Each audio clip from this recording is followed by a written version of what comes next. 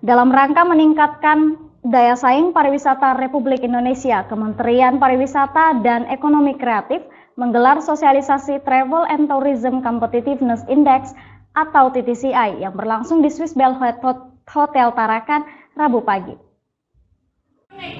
Nggak rooming lagi apa itu TTCI.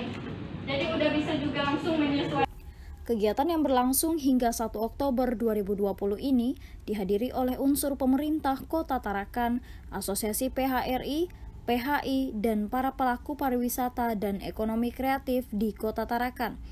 Koordinator Pengembangan Destinasi Regional 2, Area 2 Kemenparekraf, Baparekraf RI, Neliana menjelaskan, kegiatan sosialisasi akan membangun pemahaman jajaran pemerintah Kota Tarakan dan para asosiasi serta para pelaku pariwisata ekonomi kreatif karena penilaian dari TTCI akan dinilai langsung kepada para pelaku.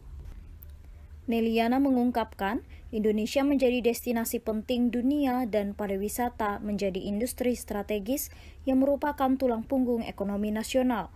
TTCI merupakan pemeringkatan daya saing oleh World Economic Forum atau WEF organisasi non-profit dunia yang diumumkan dua tahun sekali dengan membandingkan daya saing pariwisata negara-negara di seluruh dunia.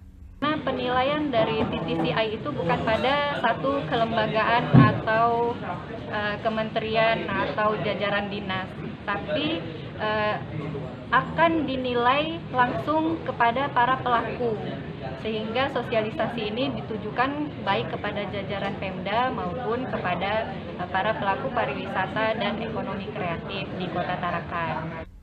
Neliana menambahkan, selain pemahaman akan terbangun sinergitas di antara para pengambil kebijakan, sehingga akan bisa memberikan efek kepada para pelaku yang kemudian memberikan kontribusi sesuai yang diharapkan untuk menaikkan skor di dalam suatu indeks TTCI itu sendiri.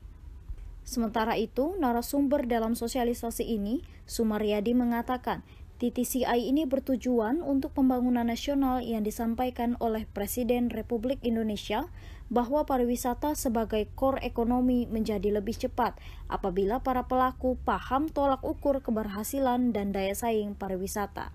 Dalam eh, sosialisasi ini kami memang menyampaikan secara lengkap, secara rinci sehingga para pihak itu tahu betul, oke okay, kalau saya mau kontribusi di pariwisata, saya harus melakukan apa.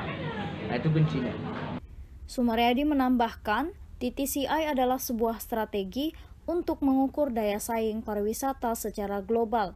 Ada 142 negara yang dinilai dan tentu hal ini sangat penting karena kita bisa mengatakan kepada dunia pariwisata Indonesia itu baik dalam daya saing atau tidak. Nina Riana, Ekuator TV.